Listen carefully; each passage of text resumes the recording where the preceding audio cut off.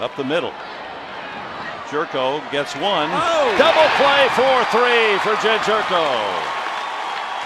Didn't waste time on the flip to the shortstop. He did the job himself.